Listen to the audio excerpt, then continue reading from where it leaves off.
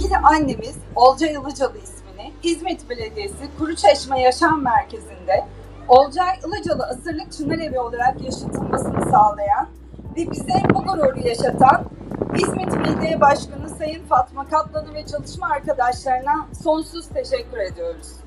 Onun adının Asırlık Çınar Evi'nde yaşatılıyor olması kendisiyle bu sosyal görevin özdeşleştiğinin de bir göstergesidir. 5 Şubat 2020 tarihinde bizlere veda ederken bu fani dünyada ancak yaptığı iyiliklerin baki olduğunu ve şimdi de bu iyiliklerin ahdi vefa ile karşılık bulacağını göstermiştir. Biz bu binayı bir süre önce ciddi bir tadilatla, ciddi bir değişime soktuk.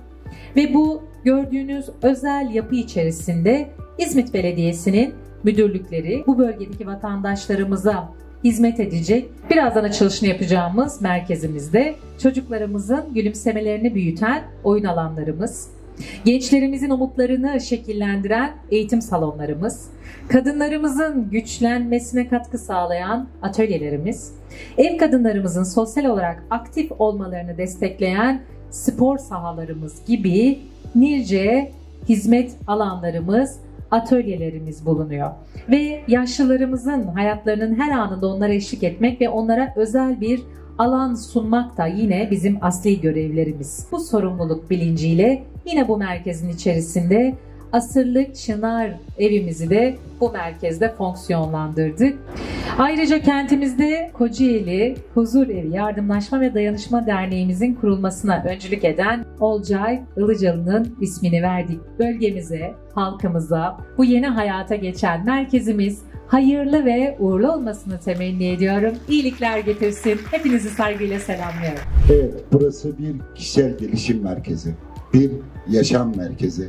Ben değerli belediye başkanımızı ve yardımcılarını, ekibini gerçekten kutluyorum. İzmit Belediyesi bu bölgede var olduğunu gösteriyor. Bugün birlikte açacağımız şeyinde bölgemize ve bize hayırlı olmasını temenni ediyorum. Herkesi sevgi saygıyla selamlıyorum.